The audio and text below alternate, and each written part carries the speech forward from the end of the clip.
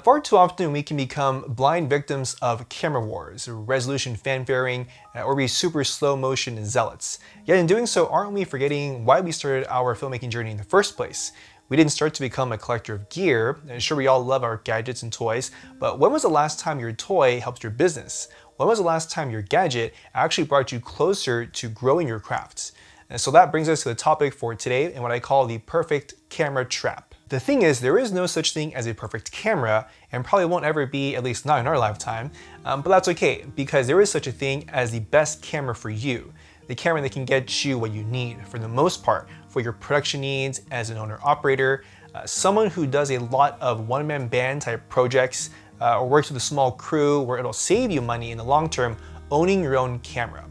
Now I've been through my fair share of cameras like many of you, and I think it's because we're always trying to chase the best image, the best dynamic range, the best slow motion and colors. There's nothing wrong with say upgrading your camera every one to two years. Uh, I think you never know a camera until you give it the time and energy it deserves.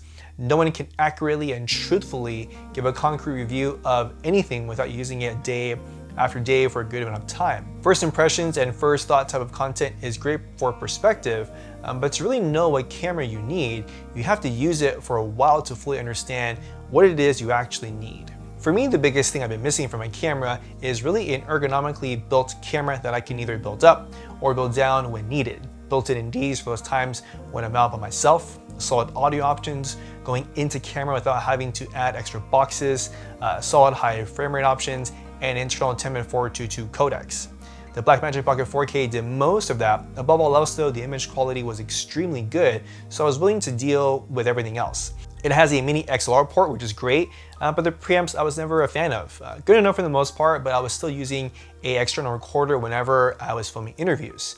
Uh, the dynamic range is really good for such a small and affordable camera. The high frame rates are really good, as well as the ability for uh, built-in anamorphic.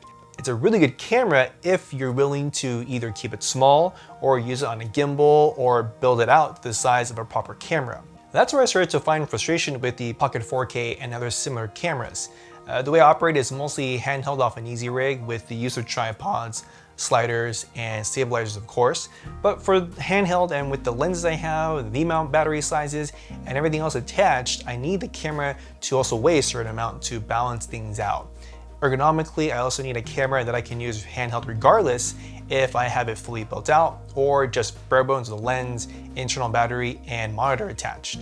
When you have small form factor cameras, you either have to um, build it out to use it properly for handheld operation, or you need a solid EVF option um, to help stabilize the camera. With all that being said, is there a best camera uh, for me in this current moment that fits my requirements as well as the majority of the projects for my business? Well, I think I found that camera, the Sony FS7.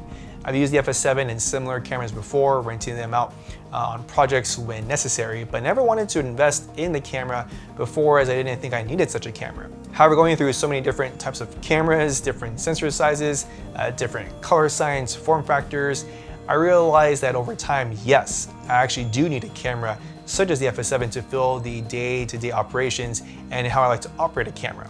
The FS7 offers everything I really need for my business and also for documentary projects which I'm involved in. It simply gets the job done at the end of the day through solid dynamic range, internal 10-422, solid high frame rate options in 4K and full HD. With the use of a speed booster, I can get pretty damn near close to a full frame image as I own several full frame lenses. It has built-in NDs, which isn't a deal breaker, um, but for those moments when you just need to get some ND in fast, it's great. And above all else, it's just a fast camera for me to use. I can build it up or keep it bare bones, and for me that's probably one of the most important aspects of a camera that I needed to have. In the next few months, as we find ourselves getting back to work, back to doing what we love, I'll be sure to get more content out with the FS7, as well as a full review for the FS7. Will I have this camera for another year or two? 100%. Uh, will I also have a new camera that fits my needs as a documentary filmmaker and commercial cinematographer? I'm not sure, and that's okay too.